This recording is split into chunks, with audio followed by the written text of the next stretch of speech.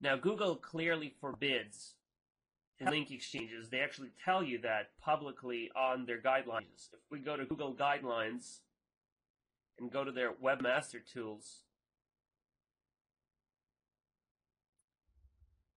it says here, don't participate in linked schemes designed to increase your site's ranking or page rank.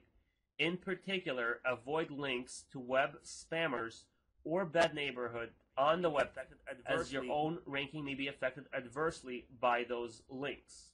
So basically, they're telling you not to link exchange with anyone, but don't link exchange with bad neighborhood websites and don't link exchange for the purpose of trying to manipulate your page rank. Now, Google's algorithm did not change. Just because they tell you don't do it does not mean that they changed how their algorithm works. They just optimized it to make sure that you don't try to trick them. So when it comes to link exchanges, you really have to do the link exchanges naturally.